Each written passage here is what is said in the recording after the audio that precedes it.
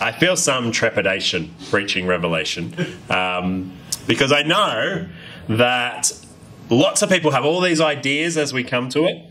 And so I, last week I talked about imposter syndrome, how sometimes when I was early on in teaching, I'd dress up as, as a teacher and try and look like a teacher because I didn't feel like I really was a teacher.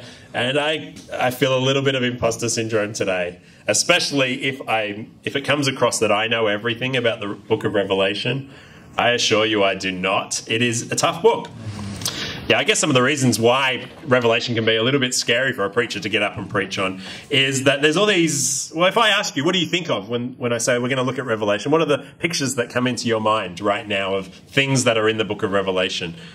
I suspect for some of you, you're picturing some pretty scary images like beasts and dragons and marks on people's foreheads and numbers and, and trying to make sense of all these different things.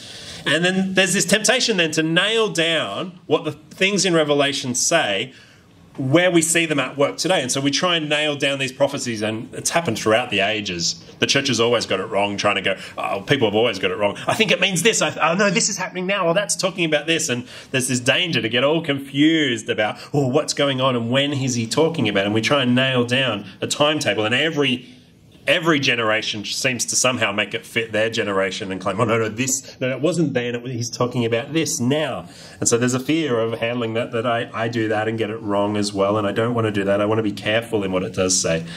And I also think, as one of the fears is that when I meet someone who loves talking about the book of Revelation and is obsessed with it, often when that happens, often, not always, but often, they're, they're holding so tightly to ideas in Revelation that they start to forget lots of all the other bits of the Bible. And so Revelation can become this obsession of working out what is going on here. And we get so bogged down in that that we suddenly have lost sight of Jesus and, and the Gospels and everything else throughout the Old and New Testament. And we just, sometimes people are guilty of just, it becomes a hobby horse. They zoom in so much on Revelation that it becomes a distraction to all that God has revealed in His Word. And I don't want that to happen for us as well. We need to treat God's Word in its entirety and treat Revelation as part of that, not separate to it, but part of His, his revelation of Himself. Um, so, this series, we're just dipping our toes in. Just dipping our toes into the water. We're just looking at the first couple of chapters and these seven letters to the seven churches. But my hope is that by doing so, by just dipping our toes in a little bit into Revelation, that it gives you a bit more confidence to swim a bit deeper, to go out into the rest of the book, not with a fear, but with a real confidence that, okay, there's lots of scary picture language, but the thing that's being revealed is going to be not something that I need to fear, but that's going to be a help for me. So, so as we dip our toes in, uh, let, let's hope too that this gives us a confidence to swim out into the deeper waters of this book and, and to let God use it for the purpose that He intended it.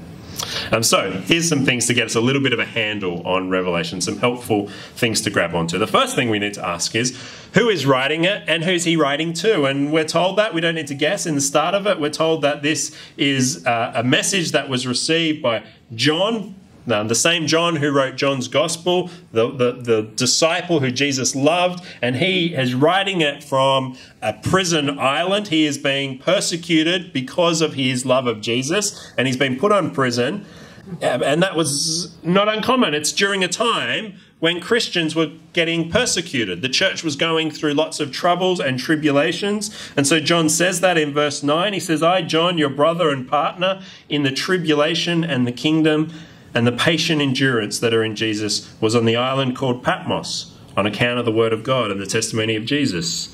John writes it to a bunch of Christians, to some churches, and particularly uh, to churches in the area. It's, it's referred to as Asia, but it's talking about Turkey, modern day Turkey, and there's these seven churches that receive it. And so that's the who and the when uh, is that it's during the it's during that bit the century after Jesus had risen and gone into heaven. And so the church grew massively, but then it's, it's facing this huge persecution. And so John writes on the, on the eve of even more struggles and hardship facing the church, he writes to encourage them.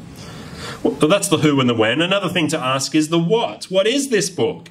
You might have all these ideas coming into it, but let's stop and just say, well, what does the book itself say it is? What does John say about it? Well, verse 1 of Revelation 1 tells us the revelation of Jesus Christ, which God gave him to show to his servants the things that must soon take place. He made it known by sending his angel to his servant John, who bore witness to the word of God and to the testimony of Jesus Christ, even to all that he saw. Blessed is the one who reads aloud the words of this prophecy, and blessed are those who hear and who keep what is written in it, for the time is near. The first thing we're told is this is a revelation. It's a, an apocalyptic type of literature. It's a particular type of writing called apocalyptic literature. And all that means is that it reveals truth about God using vivid picture language. And so, as we read it, we need to keep in mind lots of the things that are being described are picture language to tell us a truth. They're not a, they're not a photograph of what's going on or what's going to happen, but they're broad brush strokes. They're a, uh, they're a highly colourful and vibrant image, and each of those parts of it, it's not some secret code we need to know, but rather we need to understand what's going on as Jesus, through John, paints this broad picture of who he is and what's going to happen. It's a particular type of literature, and so we need to be aware as, as we read it to treat it like that. Don't treat it like other bits of the Bible that are letters alone or that are um, stories and narratives. In Revelation, we have this revealing of truth through vivid picture language. And so sometimes that means we need to do a little bit of pausing as we read it, and rather than thinking, oh, I think I know what's going on here, and that's talking about this, we pause and we slow down and we say, what is this picture telling me in its broad categories? What is going on in this picture? And the second thing we're told here is that it's a prophecy. Verse 3, it says, Blessed is the one who reads aloud the words of this prophecy.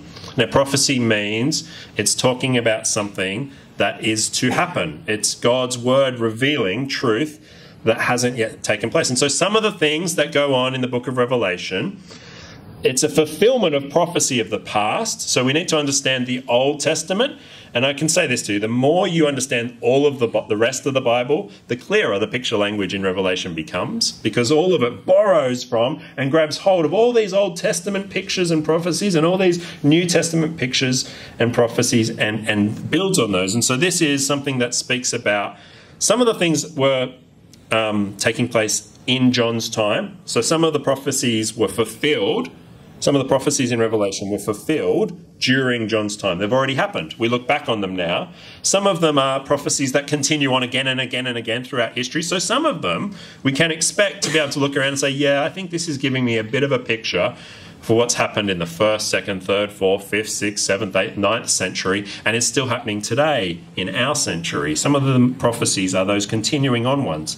And other prophecies in Revelation are things that are not yet that haven't happened yet and will happen. Now, I've said three different categories things that have already happened, things that are happening, and things that are in the future. And the tricky part is trying to work out which bit is which. And so we need to be careful in our reading of it that we don't quickly say, oh, this is talking about this, when actually it was talking about something that happened back in John's day during the early persecution of the church and the destruction of the temple in Jerusalem. Some of it is talking about that. So be careful in how we read it. And similarly, we don't want to say, oh, this is something that's now when really it's, it's in the future and it's talking about a big picture of Jesus returning. So it's, it's apocalyptic picture language, it's prophecy God's fulfillment of things that he says will take place or have already taken place. And the third thing about this book is it is a letter. Now, that's the bit we're going to focus on in our series these letters, seven letters from Jesus to his church. And the fact that it's a letter means that it had an original audience. We've said it was these seven churches in Turkey, and probably it was a circular letter. They would read it and it would be passed on. And so it had to mean something to them then. It wasn't this vague, I have no idea what's going on, it's too confusing. As John wrote it, because it's a letter, we need to assume it needed to be clear and understandable to the original people who received it. And so sometimes the work we need to do is to think, almost put ourselves back in their shoes a little bit and say, what would they have understood this to mean? Rather than going, oh, yeah, well, I know what this means because I've Googled this and this is clearly about the euro or this is about hmm. this or that.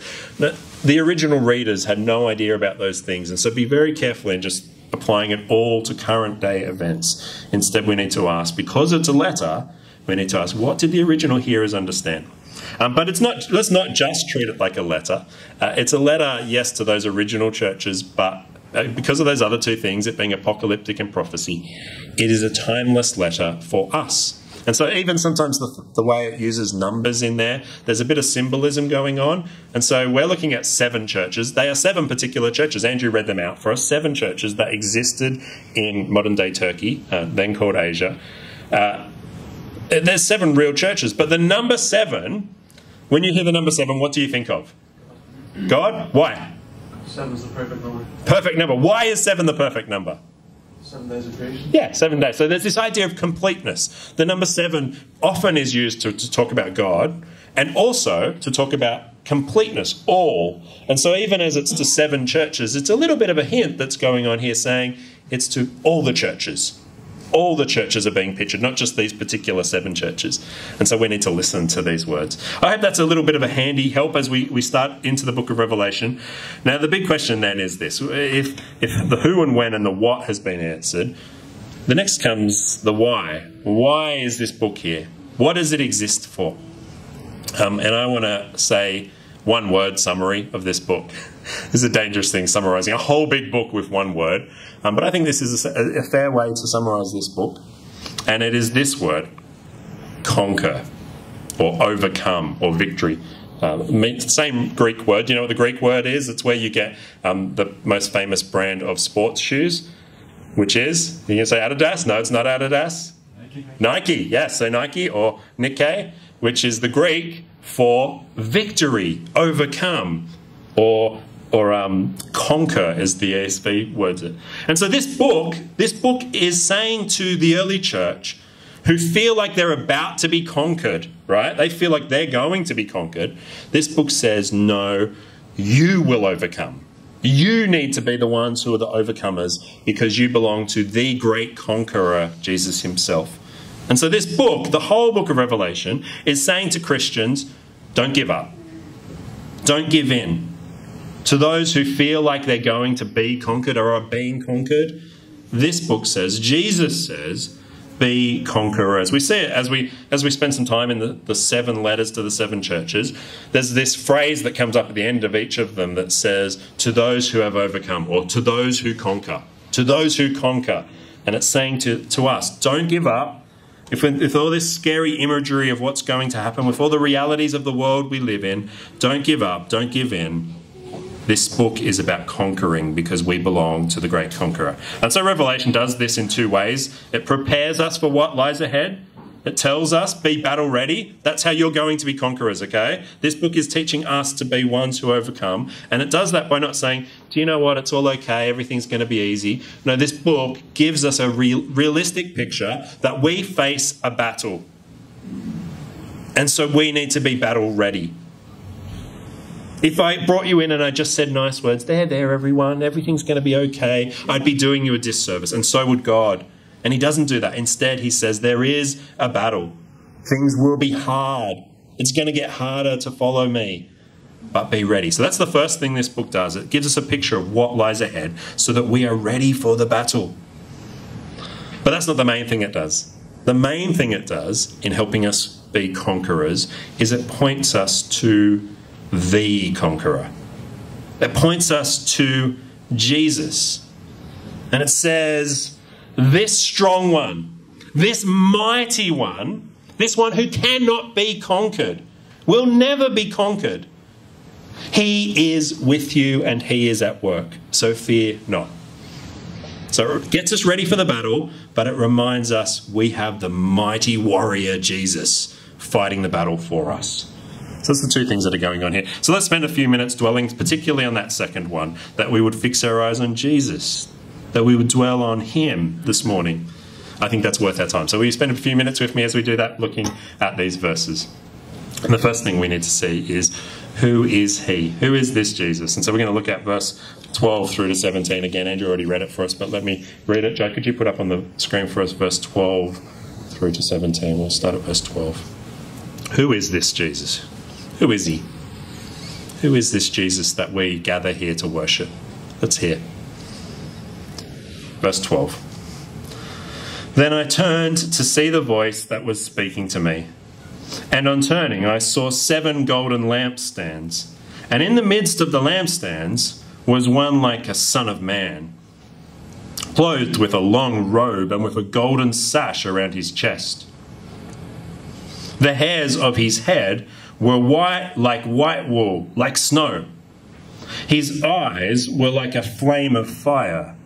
His feet were like burnished bronze refined in a furnace. And his voice was like the roar of many waters.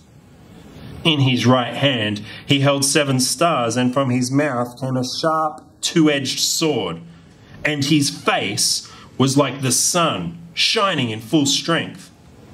John says this When I saw him, I fell at his feet as though dead. Is that how you would describe Jesus if someone asked you to describe this one you know, this one you're learning about, this one you worship? Would you use these kind of lang- this kind of language? It starts off with the, the phrase the Son of Man, and maybe you hear that and you think, oh, yeah, well, that's talking about, well, Jesus is fully God, but we also know he's fully human, and so maybe that's what's being emphasized here. When we hear Son of Man, we think of Jesus' humanity. Now, it is true, Jesus is fully human. He became one of us in every sense, fully human. But when the Bible talks about the Son of Man, and when Jesus uses that phrase of himself, which he used all the time in the Gospels, he used he calls himself the Son of Man. When he does that, and when the Bible does that, it feels like we should be thinking about his humanity, but strangely, that's not what we're meant to be thinking about. That title, Son of Man, is actually pointing us not to Jesus' humanity, but to a picture in Daniel chapter 7. Do you remember I said to understand the picture language here, we often need to think of Old Testament picture language? And that's exactly what's happening here. When John sees him and says, There was one like a Son of Man, he's taking us to Daniel chapter 7, which uses that phrase to not emphasize Jesus' humanity, but to emphasize his divinity. Listen to what it says in, in Daniel chapter 7. This prophecy pointing forward to this very time. It said this Behold, with the clouds of heaven there came one like a son of man. And he came to the Ancient of Days and was presented before him. And to him was given dominion and glory and a kingdom that all peoples, nations, and languages should serve him. His dominion is an everlasting dominion, which shall not pass away, and his kingdom one that shall not be destroyed.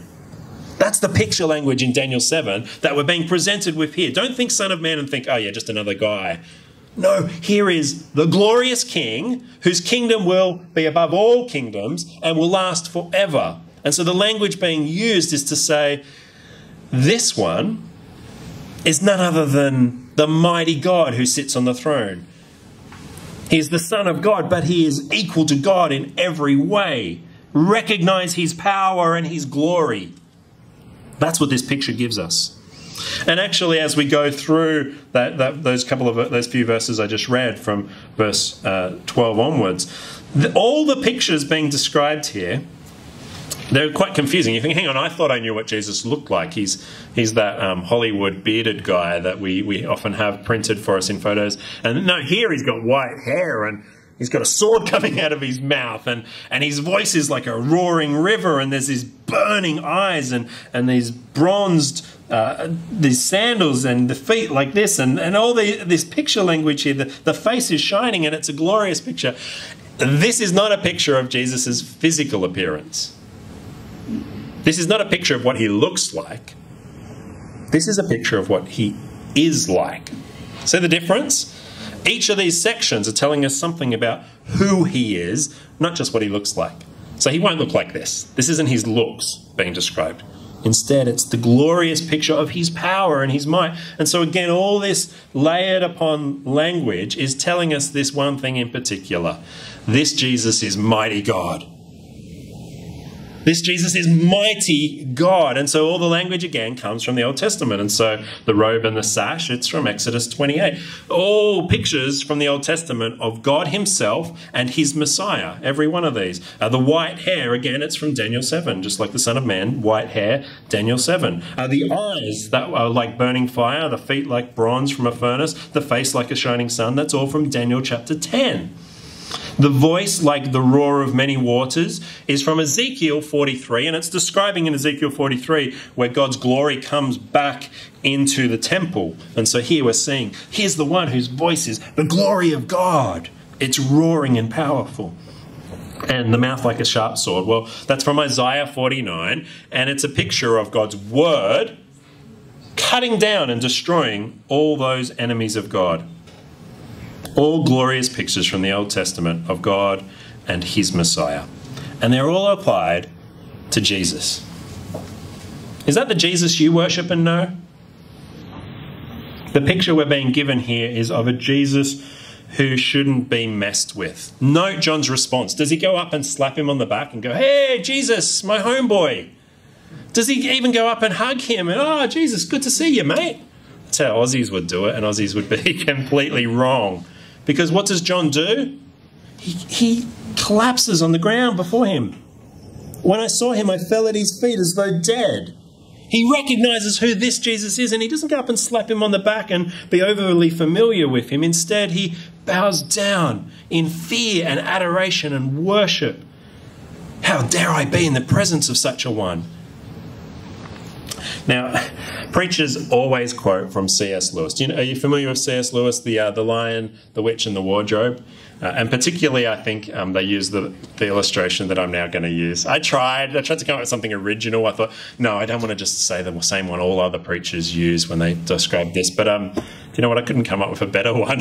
so rather than make you put up with my original one that's not so good, let me just use C.S. Lewis's great picture in the in the book, um, The Lion, the Witch, and the Wardrobe. It's this allegory. It's a story that C.S. Lewis wrote to help us understand the biblical story. And so in the story, we have this character Aslan, who is a lion. And Aslan in this story is meant to, meant to represent Christ working amongst his people. And so C.S. Lewis chose not some little guinea pig or a um, cute little, I mean, I think Josh would choose a Tassie devil or something to be the one that. No, he chose a lion. A lion, a roaring lion who walks among his people. And in the story, uh, well, when um, I'll read it from it. When Susan hears that Aslan is a lion, she's rather confused, and so she says this: uh, "Aslan is a lion, the lion, the great lion." Ooh, said Susan. I thought he was a man. Is he quite safe? I shall feel rather nervous about meeting a lion. Safe? said Mr. Beaver. Who said anything about safe? Course he isn't safe, but he's good. He's the king, I tell you. I think C.S. Lewis nails it here. And we often want Jesus to be safe. And by safe, we mean tame. That we can give him a little pat that he can be moved around and manipulated, that he'll do what we want him to do, that he'll sit, sit there, Jesus, and do as I tell you to do, please. No. He's the roaring lion of Judah. He's not safe, but he's good. He's the king, I tell you. And so, can I encourage you, dwell on who Jesus really is. There's a danger that we become overly familiar with him, and it's a danger I face probably more than anyone. I, I'm bringing God's word to you. We're doing church life together, and there's this temptation that it becomes oh so ordinary and small and unimpressive. And I forget that He's the Lion of Judah.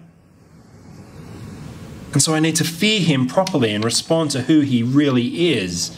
Uh, one preacher who, who I listened to on this particular passage, he said it this way about these verses You could describe the Christian life as learning to let go of the wrong fear and embrace the right fear.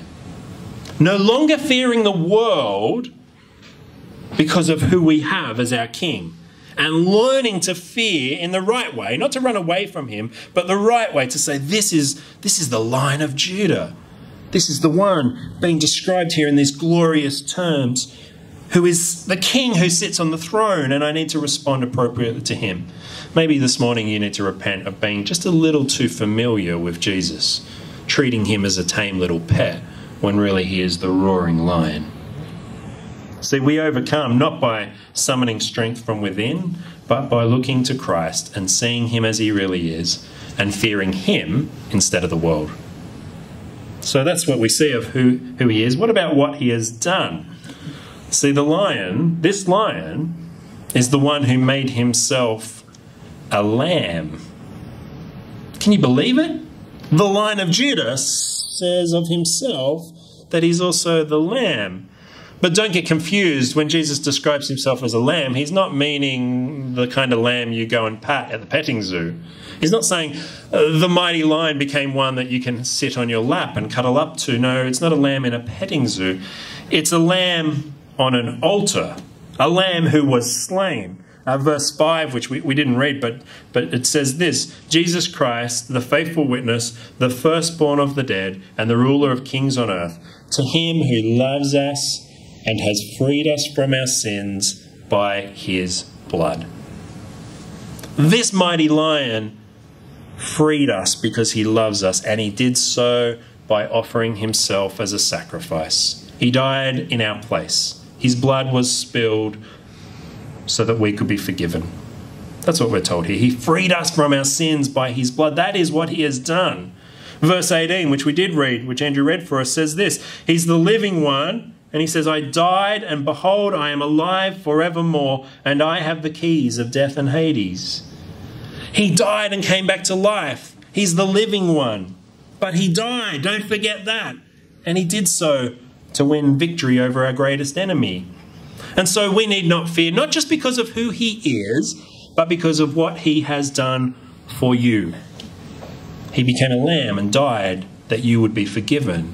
He purchased you, he freed you from sin by his blood. That is what he has done. And the final thing I want to finish on who he is, what he's done, gives us great certainty and assurance. But the final thing is, what is he doing? What is he doing? Uh, when John collapses in fear, Jesus says, Fear not. He says, I am the first and the last, the living one. He's the living one. He's the one who gives us life. That is what he is doing. Satan wants to make out like Jesus wants to take your life away, your freedom away. You know, oh, there's such a great life, but you don't get to do any of that because you're a Christian. Poor you. That's what Satan's lie is that Jesus wants to take life from you and give you something less instead. But that is a lie.